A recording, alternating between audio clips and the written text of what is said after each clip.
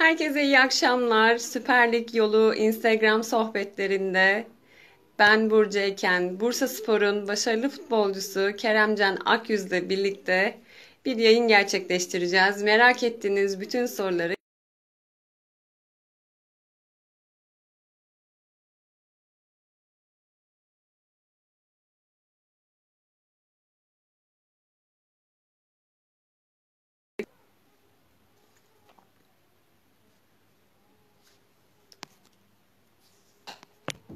Evet, Keremcan Akyüz'ün yayına gelmesini bekliyoruz. Yayına geldiği andan itibaren kendisiyle sohbetimizi gerçekleştireceğiz.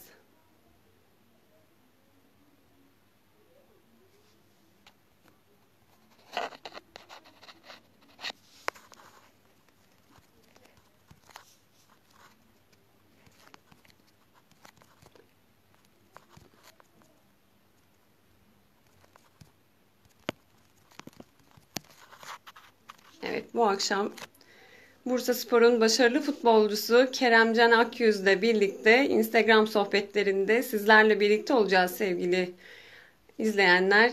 Şu anda Keremcan Akyüz'ün yayına gelmesini bekliyoruz. Yayına geldiği andan itibaren sohbetimize başlayacağız. Evet.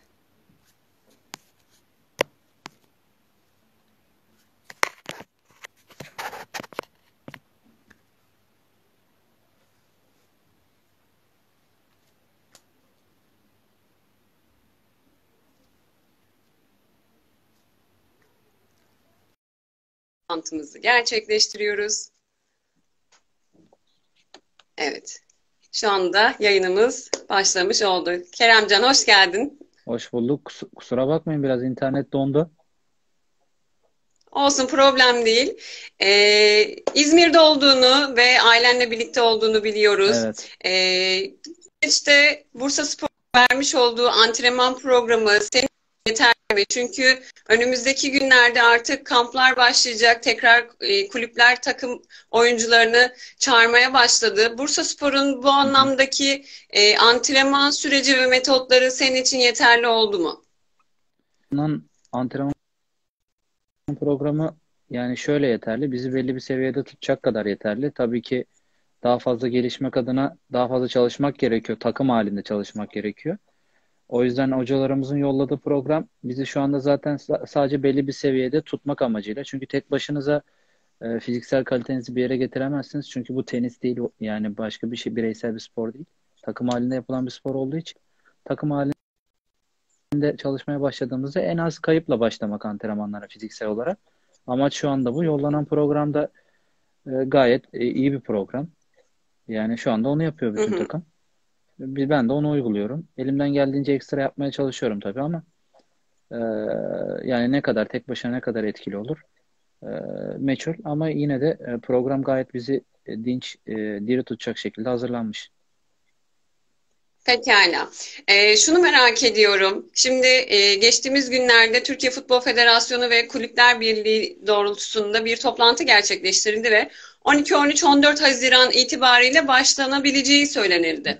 Ee, bunun öncesinde de bir aylık bir kamp süreci yaşayacaksınız diye tahmin ediyorum.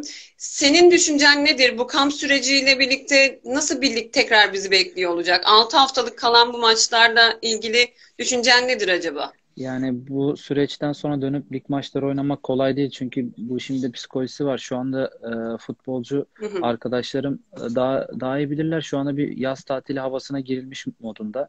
Yani havalar ısındı. Biz bir yaz tatiline çıktık mı zaten bir, bir buçuk ay tatil yapardık. Sonra yine yeni sezon hazırlıkları başlardı. Hani bir anda bu virüs yüzünden hı hı. ligden koptuk. Ondan sonra yani bir buçuk ay oldu sanırım şu anda. Tam net e, gün sayısını bilmiyorum ama yaklaşık bir buçuk ay olmuştur. Yani evet. yaklaşık çünkü bir 45 gün falan oldu. Yani bunun iki aya tamamlarsak yani iki ay tatil içi futbolcu yazdı mutlaka takım antrenmanı yapmıştır. Bu kamplar başlamıştır. Yani hı hı. uzun bir ara oldu bu. Bunun dönüşü tabii ki biraz sıkıntılı olacak bireysel hem bireysel hem de takım olarak. Yani tabii ki e, toplama süreleri, yapılacak antrenmanların kaliteleri, kamp süresi e, bunları e, belirleyici bunlar da belirleyici olur. Ee, yani dediğiniz gibi bir ay bir kamp süresi ya da minimum 20 gün bir kamp süresi ben de bekliyorum.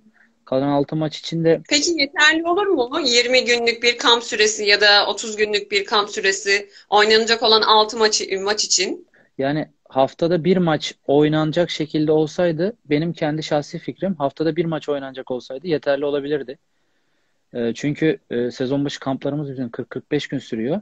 E, yani Hı hı. haftada sıkıştırılmış bir fikstür olacak sanırım. E, yani haftada 3 Evet, 3 maç hafta içerisinde bitirmeyi bekliyorlar. ya 3 hafta ya da 2 hafta arasında bir e, söylemler var. 2 hafta bile olsa haftada 2 Hı maçtan hı. 6 maçı 3 haftada bitirecekler. Yani e, kamp biraz e, süresi kısa ama yapacak bir şey yok. Çünkü e, sıkıştırılmış bir fikstür. Önümüzdeki sezonun fikstürü de var. Her şey ona göre e, şekilleniyor. Tabii bu futbolun dışında sadece oynayanların dışında başka etkenler de var. Yayıncı kuruluş, bu işten başka şekilde para kazanan insanlar var. Onların programları da var. Herkesin ortak noktada bulaşabil- buluşabileceği bir e, program ayarlanıyordur e, tahmin ediyorum. Ama tabii biraz bizim için yoğun ve sıkışık bir dönem olacağı kesin. Peki şunu merak ediyorum ve buradan da bizleri takip eden insanların aklında olan soru işaretlerinden bir tanesi budur diye düşünüyorum. Ee, iki haftanın içerisinde ya da üç haftanın içerisinde oynanacak olan bu maçlar sizler için nasıl bir psikoloji oluyor? Yani düşündüğünüz zaman ailenizle, arkadaşlarınızla konuştuğunuzda neler söylüyorsunuz?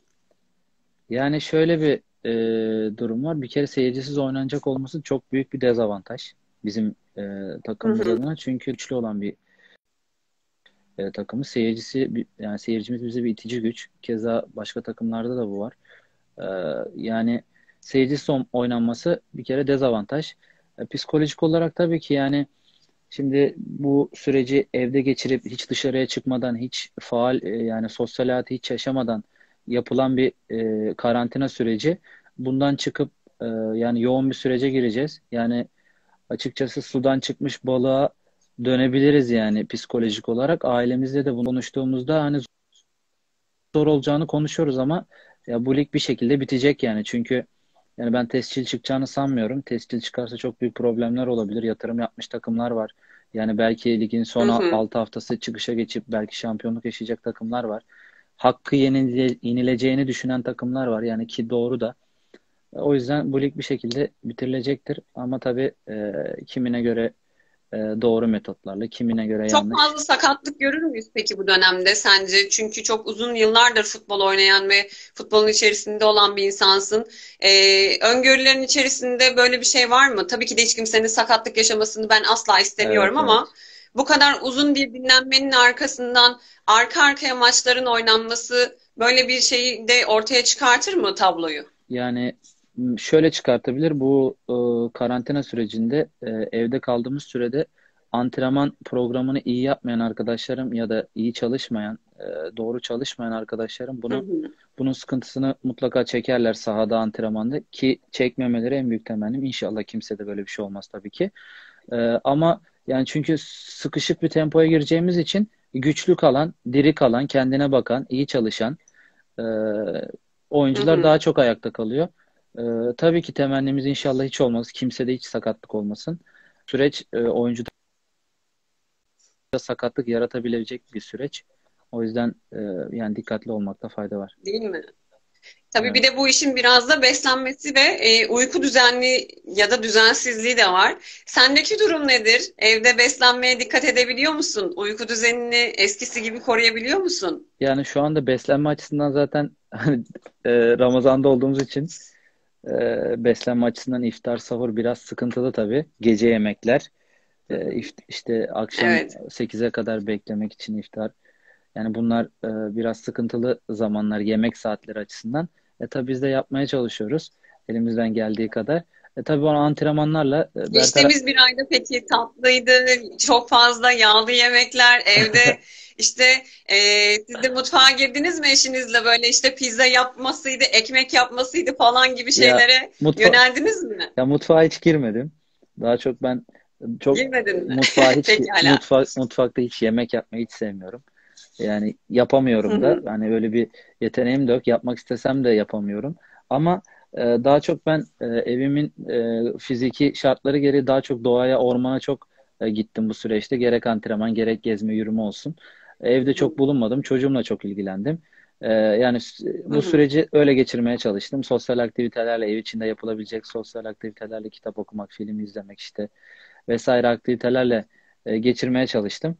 Ama mutfağa hiç girmedim. Ama yediniz mi deseniz e, tabii ki hepsini yedik. Ee, yani tatlı da yedik, her şeyi yedik yani. Ama tabii antrenmanlarla bunları eritmeye çalıştık yani. Ek, ekstralarımın sebebi Hiç olmazsa de bu. sen bu süreci yine e, güzel geçiren sporculardan bir tanesi olduğunu söyleyebiliriz. Yani ya elimden tatlı yesen de hamur biraz şey yapsan da evinin vermiş olduğu konumdan e, dolayı da biraz sporuna yönelebilmişsin. Çok ya güzel. Bir de, Peki hala. Şöyle, şöyle bir durum var yani yedikten sonra insan pişman oluyor yani. Bende öyle bir durum oluyor. Tatlı yiyorum, yemek yiyorum ama yani pişmanlık da hissediyorum. Yani bu sorumluluk bilinciyle vicdan tabii, azabı hissediyorsun vicdan azabıyla tabii kendimizi hemen veriyoruz dışarıya koşmaya falan. Elimden geldiği kadar yapmaya çalıştım yani. Pekala. O zaman şimdi hem buradan gelen sorular üzerinden gidelim hem de ara ara yine ben kendi sorularımı yönelteyim sana. Tamam. Ee, Pascal de Souza kullanıcı isimli İlknur Aktaş aslında bir teknik direktör. Kendisi Fenerbahçe'de altyapıda iki buçuk sezon çalışmış bir e, kadın teknik direktör. Diyor ki futbolcunun oruç tutması fiziksel olarak etkileri zorluyor mu? Yani antrenmanlar devam ederken e, lig maçları devam hı hı. ederken tabii ki zorluyor. Çünkü yoğun bir temponun içerisindesiniz. Tabii tuttuğum da oldu antrenman zamanı. Maç günleri de tuttuğum oldu. Antrenman günleri de tuttuğum oldu. Tabii e, çok zorluyor. Özellikle susuzluk e, bayağı bir zorluyor. Yani açlık hadi bir derece de susuzluk bizim için çok önemli. Çünkü su, su kaybı futbolcuda kas sakatlıklarına yol açabiliyor. En büyük e, dezavantajı susuzluk oluyor. Tabii ki çok zorluyor yani. Pekala. Şimdi Bursa Spor'la ilgili konuşuyoruz. Bursa Spor'da olduğundan dolayı sonra yavaş yavaş geçmiş günlere de gideceğiz. Evet. Öncelikle şunu merak ediyorlar ve bugün de gelen sorular içerisinde vardı. Texas grubunu nasıl buluyorsun? Muhteşemler. Yani tek kelimeyle. Muhteşemler yani ta, itici güçler. Yani futbolu bilen bir grup. Hı hı. Gerçekten futbolu bilen bir grup. Ee, yani takımın arkasında çok büyük bir itici güçler ve e, sadece saha içinde değil saha dışında da çok etkililer. Ee, yani motive hı hı. ediyorlar bizi videolarla e, yani söylemleriyle, tezahüratlarıyla tabii ki motive ediyorlar. Tabii bu işin bir de kötü yanı var. Kötü gittiğinde de e, tepkileri de bir o kadar büyük oluyor. Bayağı Biraz tepkileri ağır oluyor değil ağır, mi? Ağır ağır oluyor. Yani futbolun içinde bunlar var tabii ki ama ama çok ateşli, çok e, çok çok iyi bir taraftar grubu var. Peki şimdi maçlar seyircisiz oynanacak. Texas grubunun yokluğunu hissedeceksiniz gibi görünüyor ama evet. sosyal medyadan destekle ya da bir şekilde sizlere ulaşarak o etkiyi yaratabilirler mi?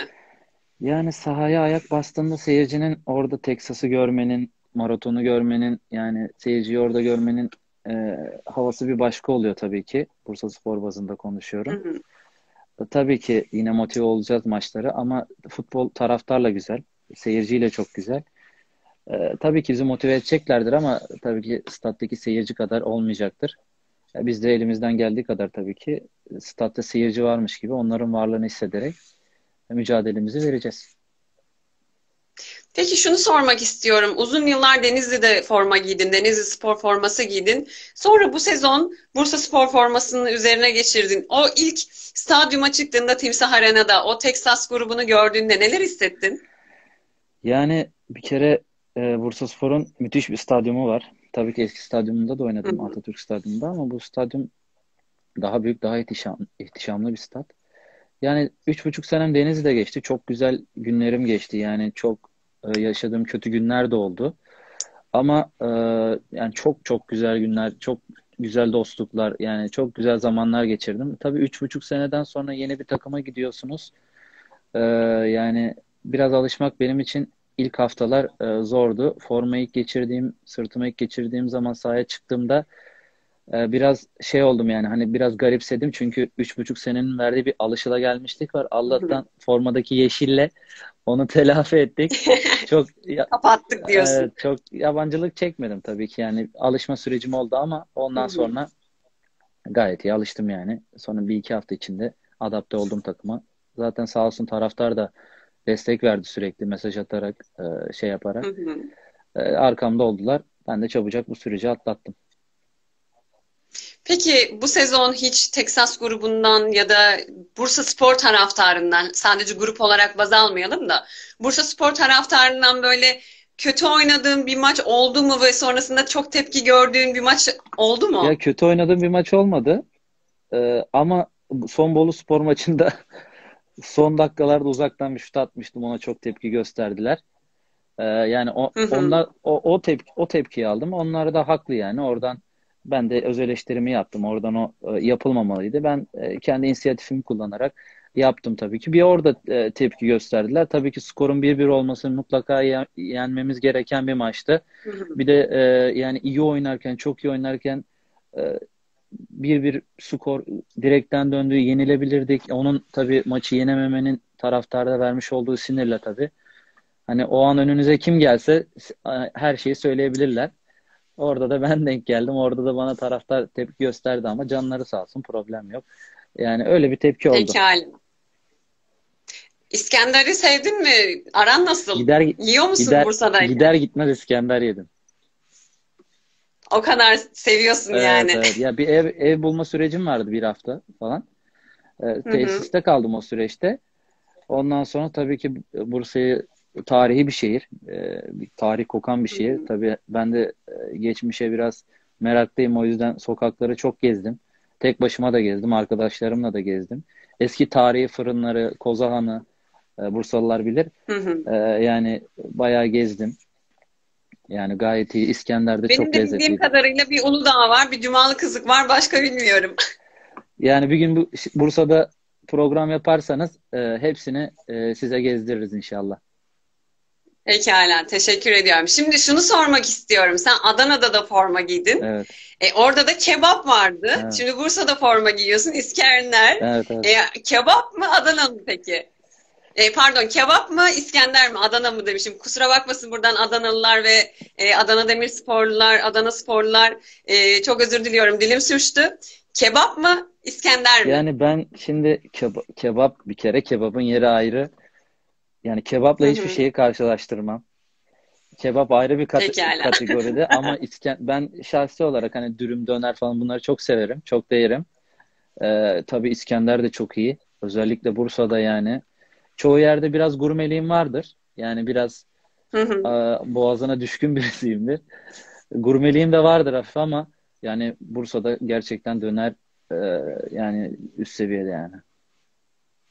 Şimdi burada bir de Denizli Spor taraftarları var, hayranlarım var oradan izleyenler. Sağ Onlar da diyorlar ki Denizli kebabı tabii ki de. Denizli kebabı Bir de Denizli'nin Deniz, kebabı. Denizli kebabı da yani altta kalmaz. Denizli kebabı da çok iyidir.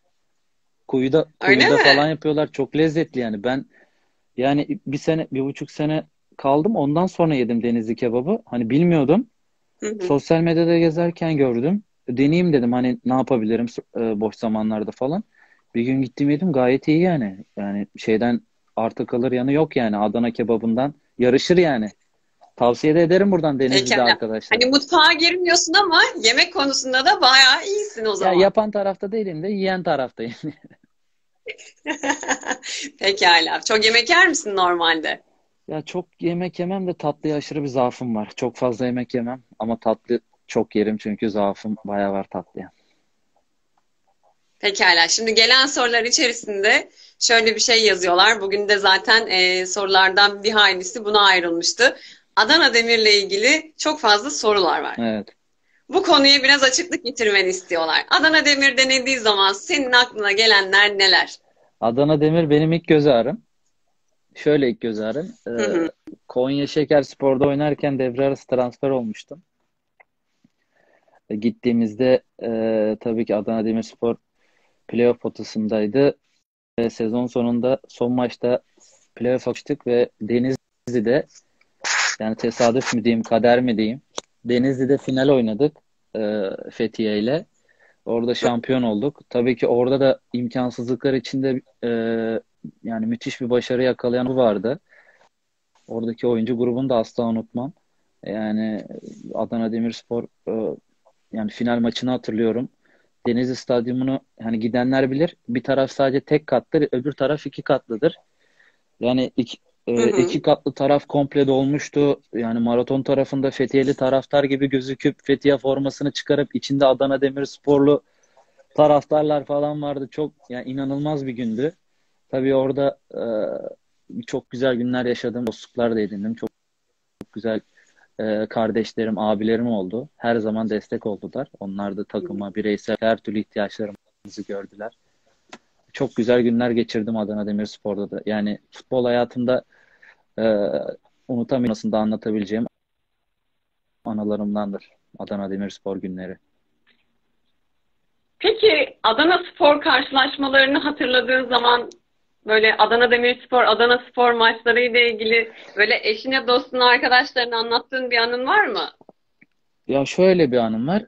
Adana Adana Spor günleri zaten o derbi günleri şehirde acayip bir hava oluyor. Yani değişik bir rekabet. Ee, yani bir Adana maçı yenmiştik. Ee, yani ben Adana Demirspor kariyerim boyunca Adana Spor'la karşılaştığımızda hiç mağlup olmadım. Ee, Hı hı. iki kere berabere kaldık. Bir kere yendim sanırım. Yendik sanırım. Oynadığım maçlar için konuşuyorum. Galip geldiğimiz bir maçtan sonra tabii kutlama yemeğine çıktık arkadaşımla. Yemek yerken işte neyse yemeğimizi yedik. Tesise gideceğiz. İşte hesabı istedik falan. İşte hesap geldi. Kağıtta hesabı ödediniz falan filan yazıyor. Arkadaşıma sordum. Sen mi ödedin? Yok. Kim ödedi falan. Kalabalık bir grubuz bir de takım arkadaşlarımla. Ondan sonra yok ödeyelim falan filan. Yani kimse söyleme. Kimse ben ödemedim diyor herkes. Ondan sonra mekanın sahibi geldi. Büyük Adana Demirsporluymuş. Sonradan öğrendik. Ondan sonra işte fotoğraf çekildik falan sağ olsun. Yani o günü unutamam. Şehirde yani Adana Demirsporlu esnaflar size hesap ödetmiyor yani Adana derbisinden galip çıktığınızda. Onlar da takımlarına inanılmaz bağlılar. Onların da müthiş bir taraftar grubu var. Şimşekler grubu var. Keza Denizli Spor'da Yeşilcep var. Onların da Geleceğim yavaş yavaş. bir taraftarı var. Şimşekler grubu seni nasıl hissettirdi peki? Yani bu olayları da yaşadıktan sonra orada devam etmek ister Yani misin mesela ilerleyen yıllarda futbol hayatına tekrar Adana Demirspor'da oynamak ister misin? Ya Adana Demirspor'da bir kere herkes oynamak ister. Ben tabii ki Adana Demirspor'da tekrar hı. oynamak isterim. Çünkü benim için hikayenin başlangıç yeri. Yani kariyerimde çıkışı yakaladığım yer Adana Demirspor'dur. Bana çok e, benim de e, takıma takımın da bana çok katkısı olmuştur. O yüzden Adana Demirspor'da herkes oynamak ister. Ben tabii ki bireysel olarak anılarım olduğu için beni e, başlangıçta için tabii ki oynamak isterim. Çok güzel. Pekala o zaman şöyle biraz da Denizli'ye geçelim istiyorum. Orada da horoz var, işte Yeşiltepe var. Ee, Denizde çok Denizli'de üç buçuk sene geçirdim. Evet evet. Olsun. Bizim vaktimiz bu. Ee, Denizli'den önce neden ayrıldığına ilgili bir de soru sormak istiyorum. Mehmet Özbek mi seni istemedi yoksa sen mi oradan ayrılmak istedin? Bu süreç nasıl yaşandı? Bana kimse e, ayrılmak istediğini yani kulüp ya tarafından kimse e, ayrıl demedi. Ben e, hoca ile yaşadığım anlaşmazlıklar sonucu kendi kafamda verdiğim bir karardı. Çünkü ben bugüne kadar sürekli e, faal olarak oynamış bir oyuncuyum. Hani formda olduğum sürece, sakat olmadığım sürece. Bireysel bir sıkıntı yaşadım orada hoca akıllı. Ya, anlaşamadık. Yani iletişimimiz tutmadı diyelim. Ondan sonra Hı e, hı. bir gün tesise gittim işte e, kadro dışı kaldığımı öğrendim. Bir kağıt verildi bana ligin son 5 haftasına, devreye son 5 hafta kala. E, kulüp tarafından e, devre arasına kadar izinlidir. E, istediği takımla e, transfer görüşmesi yapabilir diye. Ben de o e, kağıdı aldıktan sonra e, kulübü alacaklarım için federasyona verdim ki bayağı alacağım vardı. Yani kulüp bana öyle bir hamle yapınca hoca tarafından e, yani kulüp tarafından Hı değil hoca tarafından öyle bir şey yapılınca bana ben de kendi Evet. inisiyatifimi kullanarak, kullanarak alacaklarımı e, istedim. Ondan sonra alacaklarım ödenmeyince tek taraflı fesih yaptım. Yapmak zorundaydım. Çünkü bizim de bir ailemiz var. Sadece bu işten para kazanıyoruz. Yani Kesinlikle. bizim e, bakmak ol, bakmakla yükümlü olduğumuz insanlar var. O yüzden bunu yapmak zorundaydım. E, kulübü en zor durumda bile federasyona vermedim. Transfer esnasındayken oyuncu alamayacak durumdayken bile fırsatçılık yap- yapıp e, yani yüksek paralar isteyip al- alabilirdim ki bunu o zamanki yöneticilerimiz gayet yer. E, kulübün içindeki bazı abilerimiz de bilir. E, bunu yapmadım. En kötü zamanda bunu yapmadım. E, ama e, en son yaşadığım olay beni o raddeye getirdi. Ben federasyona verip tek taraflı fesi yaptım. Tabii herkesten helallik alarak gittim. E, Sağ ol Deniz Spor Kulübü Başkanı bile e, arayıp e, hakkını helal ettiğini, e, benim de ona helal etmemi istediğini söyledi. Helalleştik ayrıldık. E, yani yapacak bir şey demeseniz de oluyor. E, yapacak bir şey yok. Güzel günlerdi ama e, futbol kariyerim devam ettiği için böyle bir profesyonel karar almak zorundaydım. Peki hocayla neden böyle bir problem yaşadın sence? Hoca mı zor? mı sıkıntı yani anlaşmazlıklar mı çok fazla oldu? Çünkü Yani e, uzun zaman e, o takımda mücadele ettin ve şu anda görüyorum mesela alttan yazan bütün Denizli Spor taraftarları sana adam diyor, hakkın ödenmez diyor. İşte seni tekrar görmek istiyoruz diyor. Herkes unutur, cephe unutmaz yazmış mesela. Nurican Özhan kullanıcı isimli birisi. Ve Ya bu tarz mesajlar çok fazla var. Ya öncelikle yani şöyle hani tabii problemin detayını anlatmak olmaz da yani a- Tabii. aldığım süreden memnun değildim. Saha içinde aldığım süreden almam gerektiğini e, düşündüğüm süreden memnun değilim. Hak ettiğimi almadığımı düşündüğüm için ben de e, Hı hı. bir şekilde e, tepkimi koymak zorundaydım. Yani hak ettiğimi almak için her şeyi yaparım. E, burada e, futbolcu çünkü oynadığı zaman var. Futbolcu sahada olduğu zaman e, kuvvetli. E, o zaman kazanıyor. E, ben de e, yani genç bir futbolcu değilim artık. Yaşım 30. E, yani yaşı ilerlemiş, ilerleyen bir futbolcuyum baktığınızda. E tabii 30 yaşında olduğum için hani genç futbolcu gibi forma beklemek de e, bilmiyorum bireysel olarak dedim ki artık yani e, genç futbolcu gibi arkada forma bekleyeceğime en azından artık ayrılık yolunun geldiğini e, söyleyeyim gibi düşündüm. Tabii hoca yani burada e, belirleyici unsur hocaydı. E, hoca yani hiç hiç şans bulamadım. Yani bir dakika bile şans bulamamam bana normal gelmedi. Yani takımdaki e, 25 oyuncunun 24'ü şans bulurken benim bir dakika bile şans bulmamam bana hiç normal gelmedi. Ki o takımda e, daha fazla şans alması gereken oyuncular da vardı. E, yani tabii isim vermek olmaz ama yani çok daha fazla e, süre alması gereken oyuncular vardı. Tabii benim hiç süre almamam yani akla mantığa sığmayan bir durumdu benim açımdan. Yani kendime izah bu durumu e, yani ayrılığımla kurtarabileceğimi düşündüm. Ki ben onu söylemeden ayrılmak istediğimi söylemeden hoca tarafından kadro dışı bırakıldım.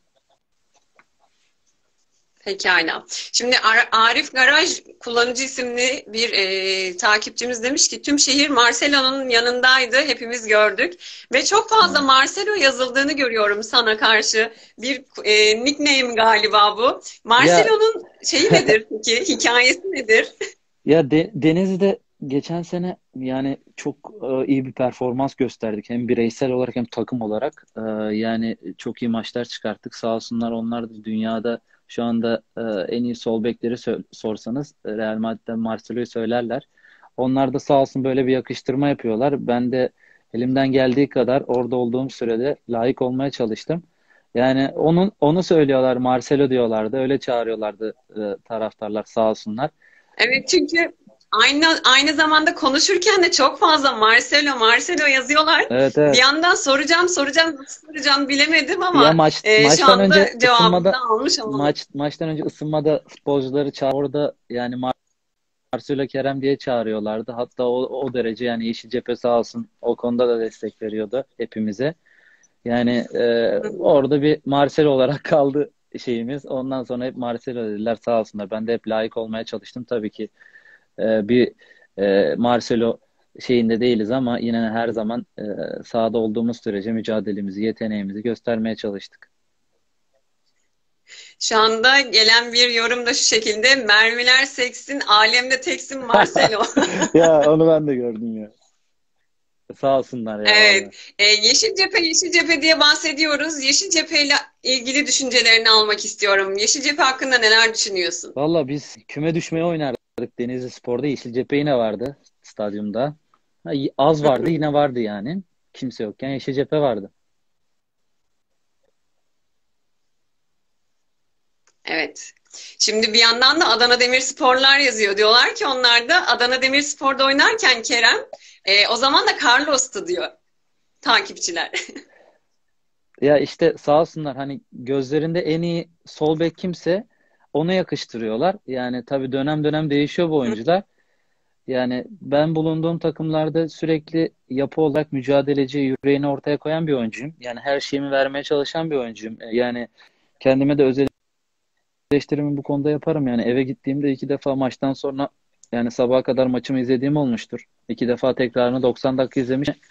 Yani çok e, acımasızca eleştirebiliyorum. Bazen eleştirileri de anlayabiliyorum ama e, sahada olduğum sürece e, mücadelemi, e, coşkumu her zaman yansıtmaya çalıştım. Bunu da tabii e, görenlerin olduğunu görmek e, beni mutlu ediyor. Sağ olsunlar. Yani Adana Demirspor taraftarı da, Denizli Spor taraftarı da teşekkür ediyorum hepsine.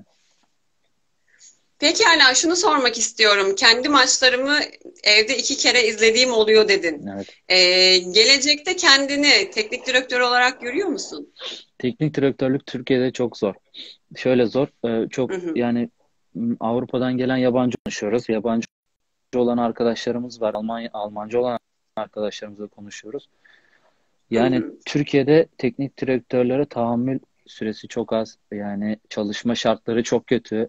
Ee, bir kere e, yani ekonomik olarak futbol piyasası yani belirli bir seviyeye gelmesi lazım. Ödemelerin düzenli olması lazım. Yani kulüplerin borçlarının azalması lazım. Kulüpler başarı istediği için borç borçlu durumdan çıkıp yani başarılı olup borçsuz duruma gelmesi için başarılı olması gerekiyor ve bunu da hocaların üstüne yıkıyorlar ilk başta. Hocalar da bunun altında tabii ne olursa olsun hani 2-3 günde eziliyorlar. Çünkü kim olursa olsun dayanamaz. Taraftar baskısı, yönetici baskısı. Psikolojik olarak hocalar da insan tabii etkileniyorlar. Hocaların çalışma şartlarının düzeltilmesi gerektiğini düşünüyorum bireysel olarak.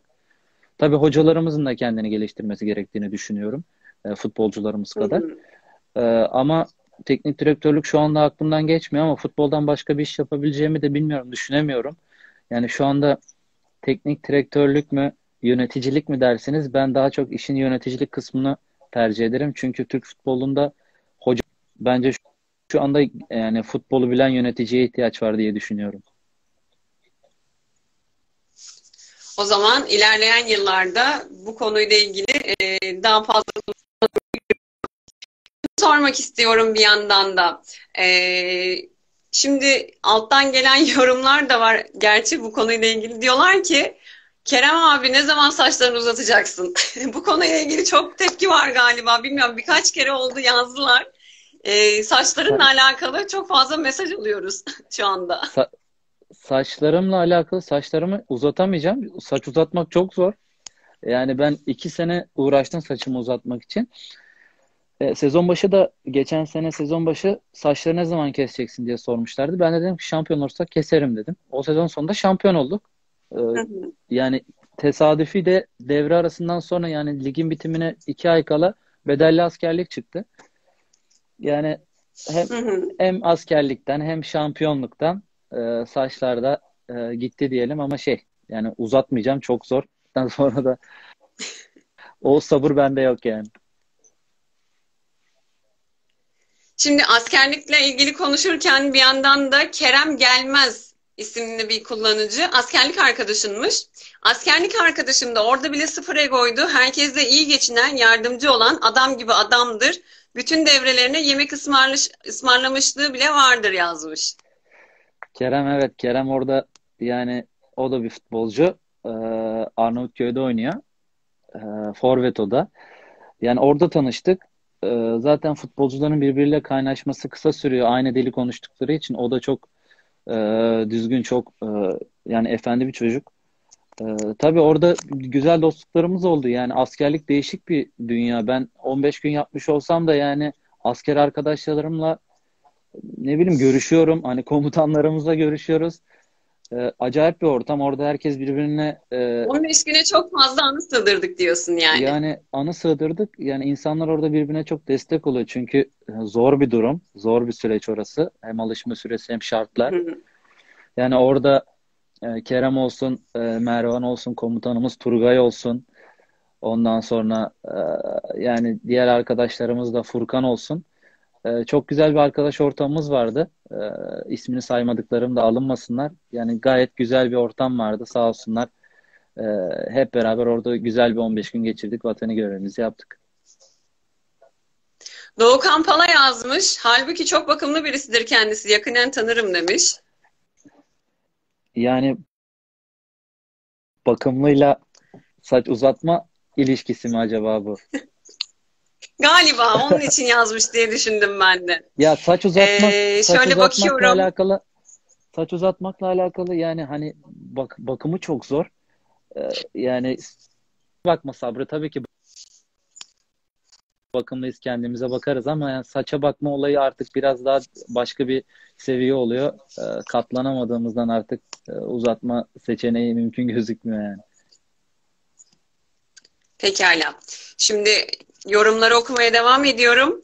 Ee, şimdi sezon başında Yalçın Koşukavak vardı. Sonrasında İbrahim Üzülmez geldi Bursa Spor'a. İbrahim Hoca soruyorlar. Bursa Spor taraftarları. Bir daha sorar mısınız? Kesildi sesiniz. Ee, diyorlar ki sezon başında Yalçın Koşukavak vardı Bursa başında. Sonrasında İbrahim Üzülmez geldi. Kerem Can Akyüz'ün İbrahim Üzülmez'le ilgili düşünceleri nelerdir? Yani lakabının karşılığını veren bir hoca. Bir kere. Yani e, Deli İbo diyorlardı futbolculuğunda. Yani gerçekten deli dolu, coşkulu bir hoca. Tabii Yalçın Koş, Koşukavak'ta çalışmadım devre arası geldiğim için. Ama e, İbrahim Hoca Evet. hakkında deli dolu, coşkulu, agresif bir hoca. E, yani sahada yerinde durmuyor. Asla oturmuyor. E, yani sahanın kenarında maçı yaşıyor bizle birlikte. E, gayet hırslı, coşkulu bir hoca yani. E, Denizli'de peki unutamadığın bir maç var mı? Böyle aradan artık yıllar da geçse işte var. anlatacağın, arkadaşlarınla oturup konuştuğunda çok mu var? Çok var. Yani bir kere Giresun maçı içeride 10 kişi kalmıştık. Ee, yani gol yedik 2-1 oldu. Sonra Santra'yı yaptık. Ee, Ziya golü attı maç 2-2 oldu. Santra'dan sonra hemen golü attık.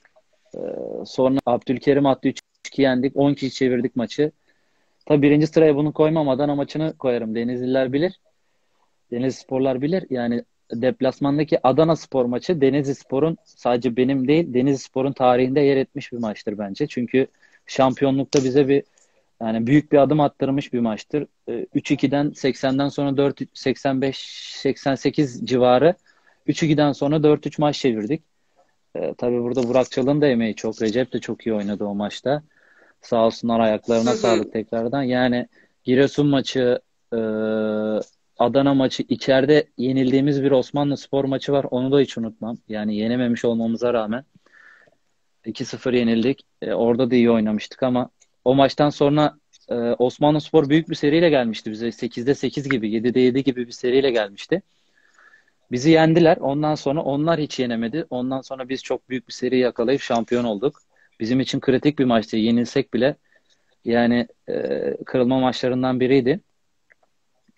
O maçtan sonra Zaten üç çok buçuk sene formasını giydiğin için çok anlatabileceğin anın olabilir diye düşünüyorum. evet. The Ufuk e, kullanıcı isimli bir arkadaşımız demiş Yücel İldiz hakkında ne düşünüyor? Yücel Hoca ile ilgili düşüncelerin nelerdir? Yücel Hoca çok naif, çok nazik bir insan. Bir kere e, kriz ortamını çok iyi yönetebilen bir hoca. Biz Denizli Spor'da geçen sene maddi zorluklar çok yaşadık. Bunu yansıtmamaya çalıştık ki yansıtmadık da. Ama sezon başı tabii bu biraz gün yüzüne çıktı. Ondan sonra Yücel Hoca'nın gelişiyle bu biraz bertaraf oldu. Çünkü Yücel Hoca krizi nasıl yönetmesi gerektiğini bilen, futbolcunun e, dilinden anlayan bir hoca. Yücel Hoca e, yani Yeşil Cephe'nin, Denizli Sporların, diğer taraftar gruplarının gözünde bir baba. E, bize de e, geçen seneki süreçte e, çok yapıcı, çok e, olumlu konuşmaları oldu. E, Yücel Hoca deyince aklıma ilk gelen e, yani beyefendilik, naziklik, e, nazik bir hoca. E, gayet Hı de hı. ılımlı, e, gayet de ilişkisi düzgün olan bir hoca. Şimdi biraz önce konuşmamız esnasında şöyle bir şey yazmışlardı senin içinde. Naif deyince oradan aklıma geldi. Sen de dışarıda çok naif, çok böyle kırılgan bir yapın varmış sanırım.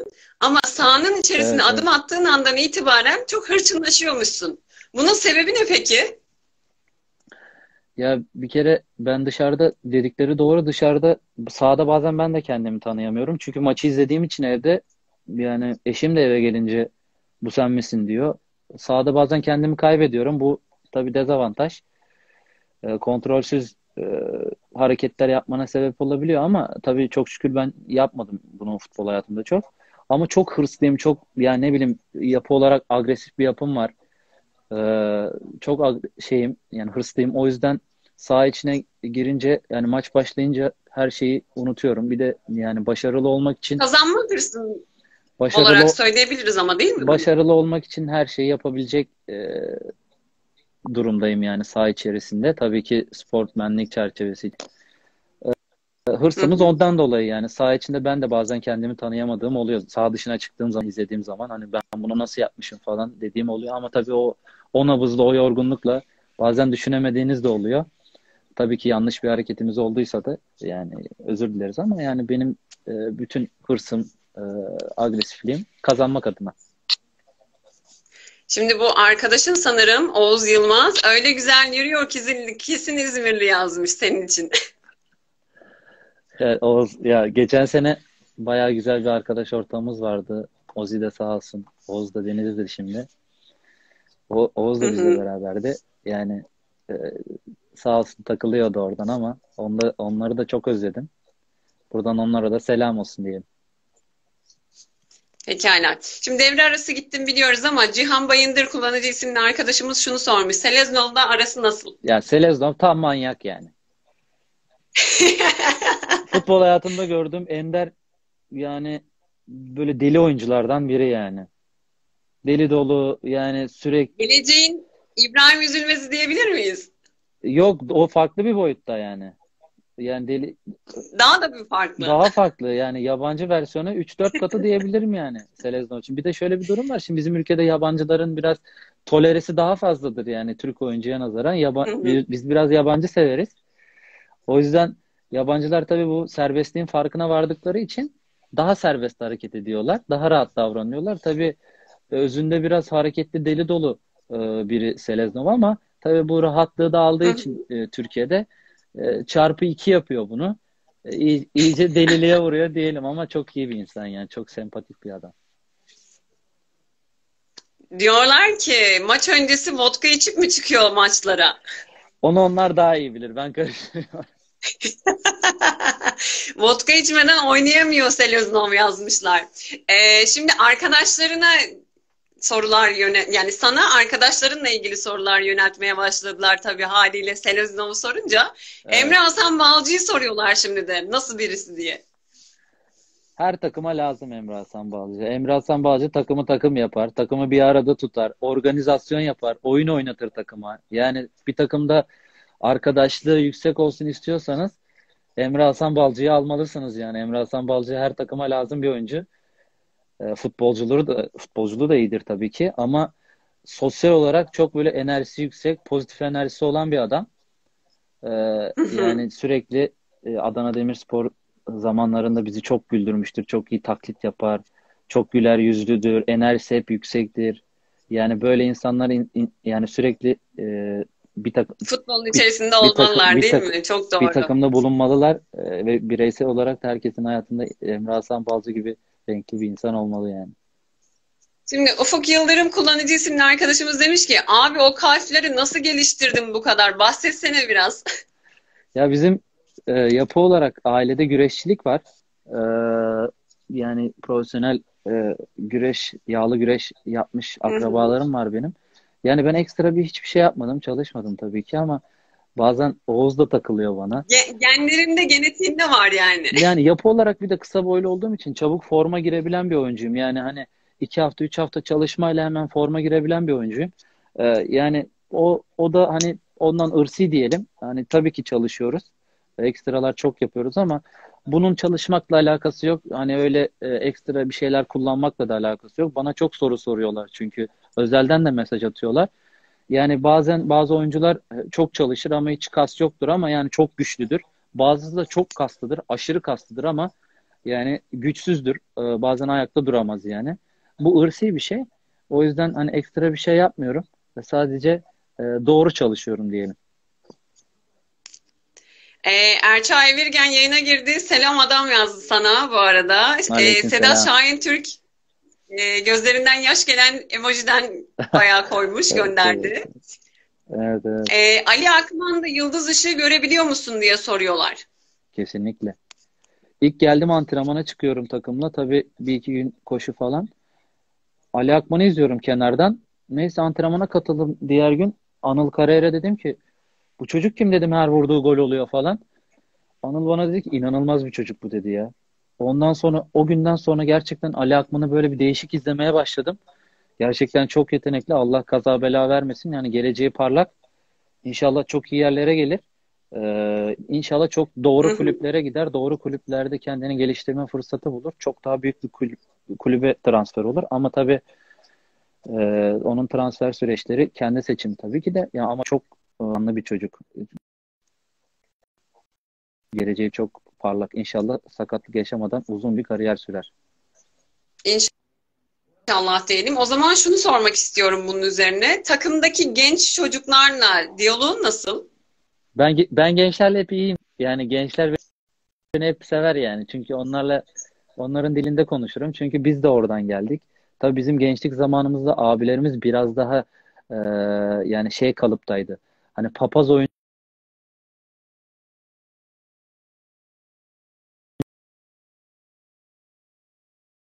çok dondurma almışlığım vardır.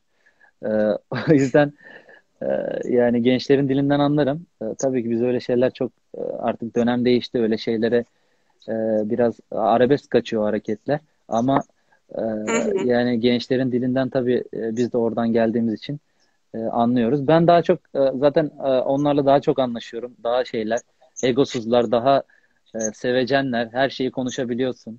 E, yani o zaman buradan senin çok fazla egolu futbolcuları sevmediğini ve onlarla sohbet etmekten hoşlanmadığını çıkartabilir miyiz? Yani egolu futbolcu değil. Yani hayatımda daha çok egolu insanları çok sevmiyorum yani. Hani tabii ki kibir, kibir herkeste vardır. Ego yani minimumda olsa herkeste ego vardır yani. Tabii bu bunu minimumda tutmak bence insan ilişkileri için daha sağlıklı. Çünkü hepimiz sonuçta e, yani iki gözümüz, iki ayağımız, iki elimiz var yani. Herkes eşit o yüzden fazlasının zarar olduğunu düşünüyorum. O zaman buradan gençlere tavsiyen varsa alabilir miyiz? Ne hakkında? Çünkü eminim şu anda bizi takip edenler var. Yani gençler hakkında tavsiyem e, bir kere zaman çok çabuk geçiyor. Yani aşırı yaşlı futbolcu gibi konuştum ama yani zaman gerçekten çok çabuk geçiyor. E, anlamıyorsunuz. E, geriye dönmek ister miydiniz deseniz ben şahsen istemezdim. Ben her şeyi dolu dolu yaşadım ama e, pişman olmamaları için e, bazı adımları doğru atsınlar. E, o yüzden onlara verebileceğim şu anda hayat olarak, hayatta genel tavsiye olarak budur. Zaten şimdiki gençler daha bilinçli, daha e, şeyler düşünebiliyorlar. daha özgür hareket edebiliyorlar. Yani destekleyen aileleri daha e, mantıklı çerçevede e, sürükleyebiliyor çocukları, e, gençleri. E, kendilerine dikkat etsinler, kendilerini geliştirsinler. E, o yüzden onlara söyleyebileceğim tek şey bu. Abdülkerim Bardakçı'nın babası vefat etmiş. Ona başsağlığı diledin mi diye bir mesaj geldi şimdi ama e, konuyu an, çok fazla bilmiyorum. Şu an öğrendim. Yani haberim yok. Ee, şu an öğrendim. Şu an çok ben üzüldüm. de şu anda gördüm. Çok. Evet buradan da başsağlığı dilemiş olalım hiç olmazsa. Yayınımız esnasında geldiği için böyle bir mesaj. Çok Şunu sormak istiyorum. Şimdi evdeyiz ve uzunca bir sürede evde oturmaya devam edeceğiz. Televizyon kanallarınız değiştirdiğinde Bursa Spor'un eski bir futbolcusunu Survivor'da olduğunu görmüşsündür diye düşünüyorum. Evet. Sercan Yıldırım'ı orada izlerken e, karşılıklı oynadınız mı bilmiyorum ama hani oynadıysan e, o konuyla ilgili neler düşünüyorsun? Var mı bir şeyin? Ya Sercan benim Balıkesir Spor'dan takım arkadaşım. Tabii Sercan çok yetenekli bir futbolcuydu. Yani bu yani 30 yaşında Survivor'a gitmesinin sebebini tabii ki e, bilemiyorum ama yani yanlış tercihler, yanlış seçimler galiba onu buraya kadar getirdi. Çünkü çok daha e, büyük kulüplerde oynayabilecek bir futbolcuydu. Ben Balıkesirspor'da oynarken bile o yeteneğini görebiliyordum ki yani e, düşüşe geçtiği dönemlerde o dönemler. E, yani Sercan tabii ki izliyorum arada bakıyorum televizyon ama yani orada olmasını hiç istemezdim yani. Çünkü Bursaspor'un şampiyonluğunda çok büyük katkı vermiş. O zaman 20 yaşında çok daha büyük kulüplere gidip bizi gururlandırabilirdi. Tabii hayatta böyle şeyler oluyor. Ee, her şey insanlar için. O yüzden hani orada olmasını istemezdim ama tabii ki arada izliyorum. Ee, inşallah orada başarılı olur. Peki e, yayının ilk başlarında evdeyken işte dizi izliyorum, kitap okuyorum demiştin. E, Netflix'ten önerebileceğin bir dizi var mı? Buradan bizi takip edenlerin takip etmesini önereceğin bir dizi ismi istesek ne söylersin? Ya klasik La Casa de Papel'i söylerim. Yani ben çok Başka? çok çok dizi ben daha çok film taraftarıyım da La Casa de Papel'i tamam o zaman bir film ismi de alabiliriz. Ya ben daha çok korku filmlerini daha çok sevdiğim için Annabelle'i tavsiye edebilirim. Annabelle serisini mutlaka izlesinler. Pekala. Kitap olarak önerebileceğin? Ben Ayşe Kuli'nin kitabını okuyordum en son. Ee, Livaneli'nin kitaplarını da okudum. Serenat'ı önerebilirim. Ee, Huzursuzluğu önerebilirim. Ee, yani Livaneli'nin ve Ayşe Kuli'nin kitaplarını severim. Ee, şimdi okuduğum e, Livaneli'nin Penceresinden diye bir kitap var. Onu okuyorum ama. Huzursuzluk ve Serenat'ı e, tavsiye edebilirim. Keremcan çok teşekkür ediyorum. Yayınımız yaklaşık bir saate gelmek üzere. Instagram'da kendisi otomatik olarak kapatıyor yayını bir Evet. saatte olduğunda. O kapatma olmadan e, vedalaşmak istedim artık. E, son olarak söyleyeceklerin varsa onları da buradan alalım istiyorum. Valla şu virüs günlerinde kendilerine dikkat etsinler. Ee, herkese iyi akşamlar diliyorum. Ee, kendinize iyi bakın. Ee, görüşmek üzere. Evet sevgili izleyenler, bugünlük de Instagram sohbetlerinin sonuna geldik. Bursaspor'un Keremcan Akyüz bizlerle birlikteydi ve ben de buradan sizlerin yazmış olduğu soruları kendi sorunlarımla birlikte harmanlayıp kendisine iletmiş oldum. İnşallah keyifli bir yayın olmuştur diye düşünüyorum. Kendinize iyi bakın, hoşça kalın. En önemlisi evde kalın.